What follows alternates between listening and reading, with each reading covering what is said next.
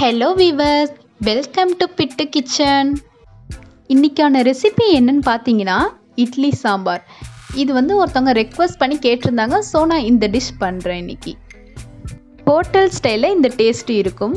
வாங்க இதுக்கான இன்க்ரீடியன்ஸ்லாம் என்னென்னு பார்க்கலாம். ஃபர்ஸ்ட் நூற்றம்பது கிராம் துவரம்பருப்பு மஞ்சள் தூள் கட்டி பெருங்காயம் நான் ஆட் பண்ணியிருக்கேன் பவுட்ரு பெருங்காயம் போட்டுக்கிறதுனால போட்டுக்கலாம். சின்ன சைஸ் வெங்காயம் எடுத்துக்கோங்க. பெரிய சைஸ் வெங்காயம் ஒரு வெங்காயம் நைஸாக கட் பண்ணிக்கோங்க. கடுகு ஜீரகம் வெந்தயம் ஒரு மூணு தக்காளி கட் பண்ணிக்கோங்க. நாலு பச்சை மிளகாய். ஒரு லெமன் சைஸ் புளி ஊற வச்சுக்கோங்க. கருவேப்பிள்ளை கொஞ்சம் chilli powder half teaspoon sambar பொடி மூணு டேபிள் ஸ்பூன் உப்பு தேவையான அளவு. அவ்வளோதான் இன்க்ரீடியன்ஸ்லாம் ஓவர் நம்ம இட்லி சாம்பார் எப்படி செய்கிறோன்னு பார்க்கறதுக்கு முன்னாடி நம்ம பிட்ட கிச்சனை லைக் பண்ணுங்கள் ஷேர் பண்ணுங்கள் சப்ஸ்கிரைப் பண்ணுங்கள் பெல் பட்டனையும் ப்ரெஸ் பண்ணுங்கள் வாங்க வீடியோக்குள்ளே போகலாம்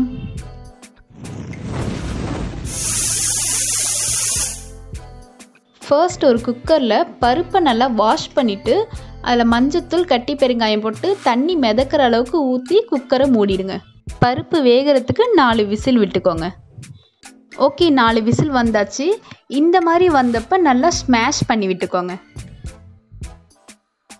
இப்போ கட் பண்ணி வச்ச சின்ன வெங்காயம் பெரிய சைஸ் வெங்காயம் தக்காளி பச்சை மிளகாய் இது நாளும் கட் பண்ணி வச்சதில் கொஞ்சோண்டு மட்டும் எடுத்து ஆட் பண்ணிக்கோங்க. ஹாஃப் டீஸ்பூன் சில்லி பவுடர் உப்பு தேவையான அளவுக்கு ஆட் பண்ணி நல்லா மிக்ஸ் பண்ணி விட்டுக்கோங்க. தண்ணி சாம்பார் எந்த அளவுக்கு வேணுமோ அந்த அளவுக்கு ஊற்றிக்கோங்க நான் ரெண்டு கப் ஊற்றிருக்கேன் இது எல்லாத்தையும் சேர்த்து மிக்ஸ் பண்ணிவிட்டு இதை மூடி ஒரு விசில் விட்டுக்கோங்க. இதெல்லாம் நம்ம ஃபஸ்ட்டு பருப்பு வைக்கும் போதே போட்டு செய்யலாம். ஆனால் வந்து இந்த மாதிரி செஞ்சால் தான் வந்து சாம்பார் வந்து நல்ல டேஸ்ட் கொடுக்கும் நமக்கு. ஓகே இப்போ ஒரு விசில் வந்துடுச்சு இப்போ ஓப்பன் பண்ணி பார்க்கலாம். இப்போ ஒரு சின்ன டம்ளர் அளவுக்கு புளி தண்ணி கரைச்சி வச்சுக்கோங்க.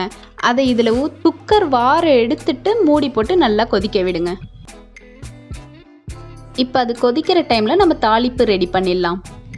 இதில் ரெண்டு கரண்டி எண்ணெய் ஆட் பண்ணிவிட்டு அது காஞ்சதும் கடுகு சீரகம் வெந்தயம் மிளகாய் ஆட் பண்ணிக்கோங்க. கடுகுலாம் நல்லா வெடித்து வந்ததும் கருவேப்பிலை ஆட் பண்ணிக்கோங்க.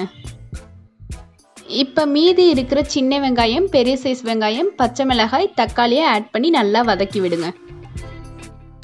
இந்த சாம்பாரில் சின்ன வெங்காயத்துலேருந்து தான் நமக்கு வாசம் அதிகமாக வரும் அந்த வாசம் வர அளவுக்கு நல்லா வதக்குங்க. இந்த மாதிரி நல்லா கலர் மாறி இருக்கும். அந்த டைமில் நீங்கள் ஸ்டவ் ஆஃப் பண்ணிக்கலாம். இப்போ இது நல்லா கொதிச்சிருக்கும். இந்த டைமில் இந்த தாளித்தது இதில் ஆட் பண்ணிக்கோங்க.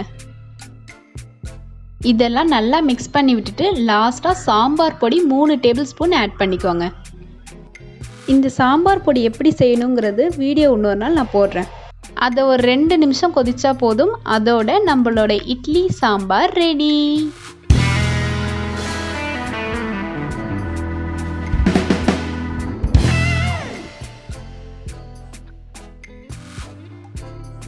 இந்த மெத்தடில் நீங்களும் உங்கள் வீட்டில் ட்ரை பண்ணி பாருங்கள் உங்களுக்கு பிடிச்சிருந்துச்சுன்னா இந்த மெத்தடில் நீங்களும் உங்கள் வீட்டில் ட்ரை பண்ணி பாருங்கள் டேஸ்ட் உங்களுக்கு பிடிச்சிருந்துச்சுன்னா லைக் பண்ணுங்கள் ஷேர் பண்ணுங்கள் சப்ஸ்கிரைப் பண்ணுங்கள் பக்கத்தில் இருக்கிற பெல் பட்டனையும் ப்ரெஸ் பண்ணுங்கள் தேங்க்யூ பாய்